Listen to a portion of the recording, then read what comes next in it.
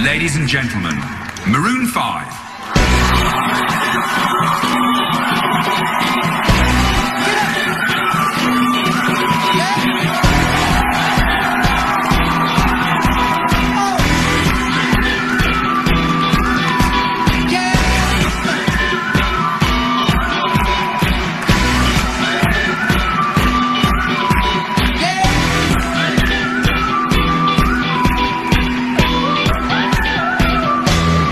reaching for the stars.